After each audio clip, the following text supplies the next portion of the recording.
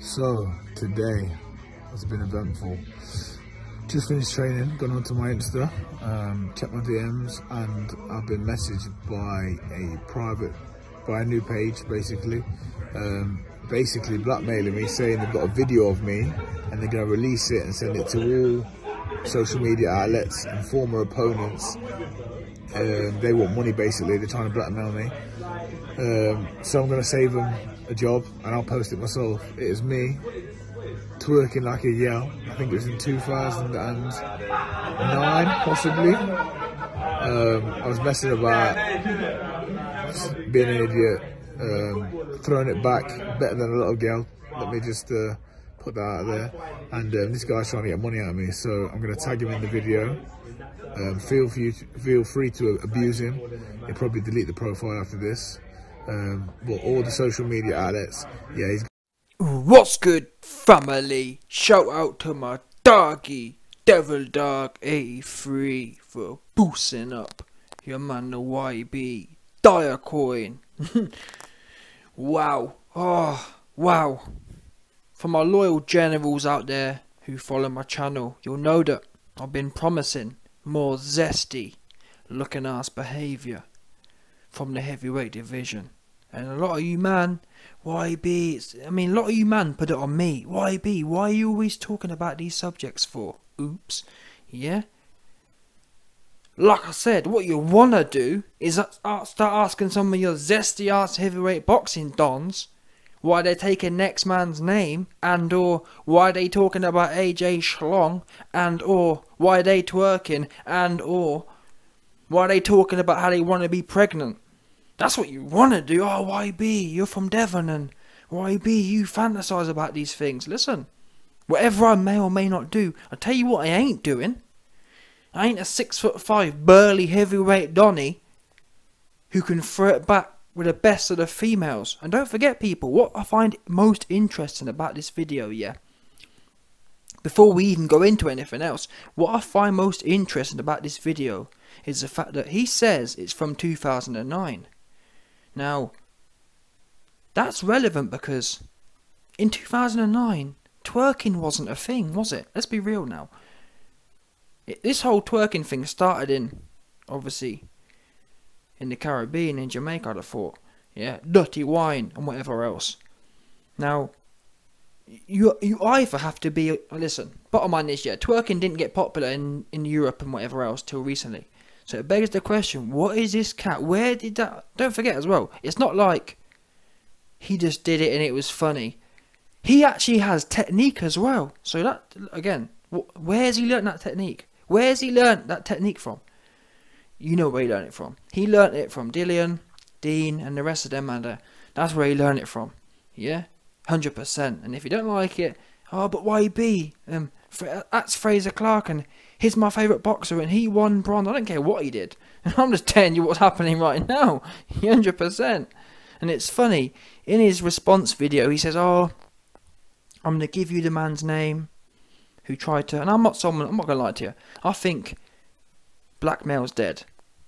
But, for example, yeah, if I'd have got the footage, I would have never emailed him saying, "Oh, I'm going to do this." I would have put it out, full stop. yeah, public in the public interest. Do you understand? Blackmail's dead. Just put it out there. The people, the people must see it. Do you understand? That's what I'd have done. Yeah? Trying to beg some coins is cringy. I'd have put it straight out there. I wouldn't want no coin to hide the truth. How about that? Yeah? Yeah, 100%. But anyway, even on that note, it's interesting that Frazer Clarke, Olympic bronze medalist, said, Oh yeah, everyone should go on there and rinse him. Everyone should rinse the troll. Now, like I said, I'm not condoning them actions from the troll was dead, like I said. But I mean, let's roast the troll. No, if, if listen, if anyone's going to be roasted in this situation, it needs to be you. Do you know what I mean? Imagine, imagine a video comes out of a big burly heavyweight bronze medalist twerking when it wasn't even popular. Like it's one thing twerking, yeah, when it's popular and it's what it's dead. Listen, let me tell you now, you ain't going to see the YB twerking for nothing. Never. How about that? That's what you're not going to see. But if I was going to twerk, if in some next zesty, fruity, yeah, rainbow flaggy, alternate reality, the YB was zest.com, Yeah? If in some next reality the YB was Jaden Smith, yeah? was, was Jaden Smith's reincarnate. Super fruity. Guess what? I would I still wouldn't have learned to twerk until 2016, 2017. No one was talking about twerking in 2009. Yeah, only men, especially men as well. Because even the thing is, well, even if you say, well, Frazer Clarke's from Yard, and you know he know, even if even if you say he learnt the culture from the Caribbean, yeah, it still begs the question. Because guess what? Even in in the Caribbean, you ain't seeing no man flicking his batty hole like that. That's what you're not seeing. So again, it begs the question. Because the only people I saw back in 2008, 2009 doing them things there was from the Caribbean. Yeah, the dancehall thing. So, where was this man, Frazer Clarke, getting it from? You know where he was getting it from. Yeah, he'd been going to where's that place in London? I'm not sure. Is it Soho? Yeah, Soho, Camden, them ones there, them zesty dons, yeah, whole bunch of zesty man. He'd been going to Soho, and them next man and big burly men been showing him how to how to listen. Hundred percent. Your man Frazer Clarke, in between training sessions in London, he'd been going to Soho, chilling at all them next rainbow flag bars, and them big burly dons have been showing him. The big tops, the big tops, yeah, at them bars, the big tops have been showing the bottoms how they want them to mix it up. And that's just what it is. Frazer Clarke's obviously a bottom, and the tops told him, listen, you best you best move your booty like this. That's how daddy wants it. And that's what happened. Come and that's the thing. Oh YB, your imagine and imagine you know, people talk about my imagination. Oh YB, your imagination, you're this, you're that. Wait a minute. Is it my video that I'm twerking in? Oh? Yeah? Wait a minute. Is it my name that changed to another man's name? you know what I'm saying? Is it me who talk about AJ Big Hard Schlong? You understand? All these things that these big burly heavyweight general goofy zesty cats be doing and people talk about oh YB you're too much and YB this? YB that? Like I said what you want to do is start asking the, or answering the facts that are going on because you you celebrity man fans oh YB I don't care what my boo does. That's my boo. Frazer Clarke my boo. He he my he my team GB Olympic bronze medalist boo. Yeah this behaviour is it's not acceptable in my opinion. And again, I've got nothing wrong with you being whatever you're being, but be honest. Don't be capping about, oh, no, you know what I mean? Just be honest. Come out and say, listen, I've been going to Soho, I've been going to Camden for a few years. I love that scene, and I'm into that scene. Simple as that. I'm into the whole GBH scene. Is it GBH? yeah, I'm into the whole poppers. I'm into poppers. I'm into going to Soho. I'm into going to Camden. I'm into going to all them little bars there and doing a whole bunch of zesty shish. Yeah, I'm a heavyweight. I'm a heavyweight. My name is Frazer Clarke. I'm a Team GB heavyweight boxer. And I love going to Soho and popping, doing poppers with a whole bunch of man. That's what you gotta do. yeah, I love poppers. I love GBH. I love all them ones there. We go all night. Yeah, whole bag of man. And that's what you need to do. And I'll be, I'll be saying, listen, salute to you. Because you live in your truth. Same as Dillian. I told you before. It's 2022. I love, I love seeing happiness on Dillian's face. Yeah? Dillian's got that, that the happiness on Dillian's face. Only a man can give that to him. He ain't getting that from woman. Why do you think Dillian been miserable? He's been miserable because it's only recently he'd been getting fully satisfied by man, by Dean. Do you understand? Women never did that for Dillian. And that's why been, you know what I mean? Why do you think it's coincidence? You never, you never seen Dillian start smiling and licking his lips until recently. Exactly. Yeah, he weren't living his truth. He's happy now. Yeah. Why do you think Dillian don't care about losing money? Why do you think Dillian don't care about paying loads in legal fees and then losing cases anyway? Exactly, because he's happy. Yeah, Dillian got that, that loving. What's that loving called? I'm not sure what it's called. He got that man loving. Yeah. When a man, listen, when a man starts stretching your prostate out, from what I've heard, it's something next thing, and that's what your man Dillian experiencing. He experiencing that prostate, that prostatal stimulation, hundred percent. And that's all. Listen, what can I say? Oops. yeah, he's super happy. He love it. He don't even care about anything else anymore. All he care about is him and his man's Dean, his husband. His yeah, hundred percent. Now back to this other cat, because I believe they're all involved. Yeah, put it this way life's too like like this. Are you telling me in this whole scene? Oh, why be your imagination? No. Are you telling me The he- UK, is the UK heavyweight boxing scene ain't that big. In fact, the world heavyweight boxing scene ain't that big. And you want me to believe it? It's all a coincidence. You got all these zesty ass cats in, in the in the cut right now, doing a whole bunch of zesty ass behaviour. I don't believe it. I'm sorry. Yeah. Ah, YB, YB, YB. Like I said, what you want to do, don't worry. Listen, from now on, don't worry about the YB's imagination, because my my imagination fine. I'll tell you what's not fine. These cats changing their name, talking about AJ AJ's wick, throwing it back, and again, it's not even just the throwing it back. We, like me, would I would I find it funny me trying to shake my booty like a female? No. Yeah. Would I find it funny me trying to shake my booty like a bitch in heat? No. However, if he did it, yeah, and it was dead, and it was kind of like, oh, he got a stiff back and whatever else, I'd get it. I'd say, you know what? Not me, yeah, but whatever. But that technique is fire. That's the thing I don't get. I know a few Rainbow Dons, and they told me, wow, yeah, they told me 100% this cat is experienced. Yeah, he would win. He would be in the top 10, never mind bronze medalist. He'd be the gold medalist of throwing it back. That's what he would win.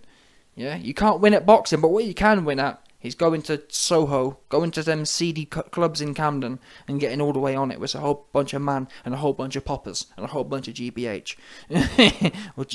That's what that's what he would be winning. I'm hearing Frazer Clarke. Yeah, he number one poppers. He love poppers. Yeah, he loves Soho. He loved Camden. Is it Camden? I'm not sure. There's some next place for sure in London, and it's some next rainbow thing. And then man get all the way zesty in there. Got all these background clubs. Yeah. Anyway, listen. Like I said, I've got more videos coming soon. You best believe it too. I've got videos of Dillian Whyte talking about, oh, look at this man's willy, and well, it's just the man weird. I'm telling you now. And for a long time, people kind of put it off. Oh no, he joking. Yeah, he joking. Yeah, he. Uh, don't be wrong. It was all fun and games until some next big burly don took your second name. That's what. no, That's for me when the jokes ended. Yeah, it was suspect anyway, but the jokes for me ended when you when you allow the big burly man. I mean, what's the explanation for that? Why would a man allow another man to take his name? That's a no-no. It's not happening in my squad. Yeah, if you're in the YB squad, you're not taking my second name because we ain't moving like that. That's what we're not doing. yeah, of all the ways we may move, I'll tell you how we're not moving. Imagine that. That for me is instant disqualification. If any man has the zesty brain particles to even think, oh YB, I want to change my name to yours. What? What do, what, do you think this is? yeah, you best go to Camden. yeah, you best go to Soho and go to one of them seedy clubs about take my second name. But this other guy, listen.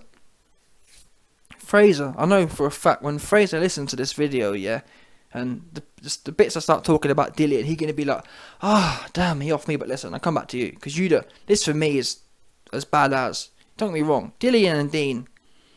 Yeah, Dillian and Dean. I mean, there's a reason. Think about it. Start joining the lines together, people. Why do you think Dean Whyte's promotional company is called Black Box? Oops. Who got a black box? yeah, whose black box does Dean like? Exactly, Dillian's. Oops. yeah, box. 100%. Is it, don't tell me. Don't tell me. All this Shilly and Trite Man fans. It's a complete coincidence, isn't it? It's a complete coincidence that the promotional company is called Black Box. The, yeah? Dillian's Black Box. Yeah, we know Dean. He loved Dillian's box. And that's the end of that. Yeah? And that's what a lot of these cabal cats, a lot of these cabal cats, they do subliminal things. They put little things out there. They put these little feelers out there. Oh, black box, and it's all it's all kind of inside jokes. And I gotta admit this: the common denominator here is Matchroom. Yeah, I believe Matchroom and Barry and the Little Black Book and whatever else. Uh, there must be some sort of thing going on here. And I, and I can't lie to you. I'm the only one who told you, man, that these dons. I mean, why? I've been telling you. Why? How do you think Dillian Whyte was able to get on so many Sky pay-per-views despite them being complete trash shows? No one. Who want to watch Dillian versus some bum? No one want to watch that. But yet, time and time again, he on pay-per-view. Oops. I told you. It's the backroom casting couch. Dillian goes in there. There's some next white, some, some next old white Dan, or a few of them actually. Yeah, Dillian goes in. There's a few old Sky executive dons in there. Dillian throws it back. And it's simple as that. Next thing you know, he on pay per view. That's how it works, people. It's not. It's not exactly. I mean, it's not. if anyone follows the news, we know this ain't record breaking things. A lot of you man don't appreciate. You. A lot of you man think, oh no, YB Dillian six foot five, and oh, there's no way he listen. Oh, but YB Dillian a boxer, and but YB Dillian six foot five. Listen. I bet you said. I bet you man said the same thing about Frazer Clarke as well. Oops. yeah, he's six foot five. He 250 pound. He a, he a boxer. He a gold medalist or bronze medalist. And still, his back is loose. Super loose. I'm telling you now. If I get a female who can twerk half as good as that, the man YB gonna be all the way sprung. Yeah? The YB wishes he can marry a female with half a flex, half as flexible back as your man Frazer Clarke. And what I don't understand is, Frazer Clarke isn't even flexible in the ring. Do you understand? It's like, uh, how can your back move like that, but in the ring you're all stiff and heavyweight looking? It's mad. I'm thinking, what the? You train every day to box, but you're stiff as a board and looking whatever. But yet, when it comes to doing something you, are not experienced at, allegedly, all of a sudden your back flicking. He has to flick. Do you understand? His booty was popping. That's what I'm sorry, but that is what you call Listen, that is what you call making your booty pop. You can watch it. He's popping it. That, that you don't just try it yourself. Yeah, try it yourself in your own time. Try and make your booty pop like that. You can't do it. When, I, when I've tried it myself. Oh wait a minute. Maybe I'm overplaying it here. Maybe I'm just being. I tried it. When I do it, all my back my back goes up and down. I don't know how you detach the tip of your booty from your back. I just don't get it. This takes training. This some top here, some top has trained Frazer Clarke down to the umph degree. Yeah? Some next matchroom top executive Don has been training and rearing all of these cats. Dillian, AJ, Frazer Clarke, they've all been brought up for the for the Sky or for the whoever Matchroom casting couch. That's the only explanation here, folks. Hate to break it to you. I know Matchroom fans are mad, but once again, I'm just putting the lines together here. Yeah, the same way we heard about Virginia Giuffre, your man Frazer Clarke is the male version of that. He been reared up and put to work on the circuit. That's the conclusion here. If you don't like it, it says something about you. It don't say nothing about me. I'm just telling you, I'm putting the little things together. Oops. Yeah? About, oh, I was just messing about. If you was just messing about, like I said, people, if you don't believe me, try it yourself. Yeah? If any of you man can make your booty pop on the first try, send it through. I want to see it. Because I, I don't get it myself. Like I said, females who train for 10 years can't make it pop like that. He's doing it left and right. He's doing it around the world. He proper the rhythm. He's good. I know I'd ever lie, yeah. If that was a woman, I'd have my. Listen, Amanda YB's wick would be semi-long watching that. It was all fluid and moving. I was like, what the fuck? This guy, big heavyweight Don as well. That's what I don't get. How can a big heavyweight Don as well? These Dons have no flexibility, but yet his booty popping. How'd that work out? it don't make no sense, does it? Exactly. Yeah? And that's what it is. Oh, why be this? Oh, why be that? Start focusing on the things in front of your face. Don't worry about what do I be doing. Because you don't see me making videos about things that ain't happen. That's what you don't see. Yeah? And last thing I'll talk about on this whole note, I want to talk about the link here because you man who follow the channel know that I've exposed a Donny called What's the man's name? Some next goofy Don. Some next goofy general called Fernando Alonso. Yeah, now Fernando Alonso, aka Angel Fernandez, is AJ's new trainer, or is kind of new, kind of old trainer, one of them ones. But you people who know me know Angel Fernandez is no good as a trainer anyway. Tutus. Guess who is the number one head trainer of Frazer Clarke? Yeah? So let's assume for a second. Let's assume Frazer Clarke is the zestiest of them all. Let's assume Frazer Clarke is the zestiest cat in heavyweight boxing right now. And I swear down, I didn't even know this. I stumbled on this and I thought, wow, you gotta be joking me. Two twos. Frazer Clarke's head trainer is none other than Mr. Angel Zest Andes. Yeah, and life's all about drawing lines together. Life's all about looking at the connections. And I've made a nice picture for you, Dons. You can see it there, circled.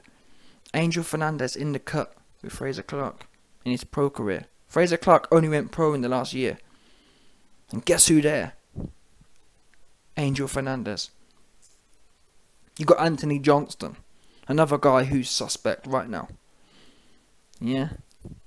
Of all the guys you may want in your camp, who do we not want? Or of all the things AJ may need going forward in terms of skills, what don't he need?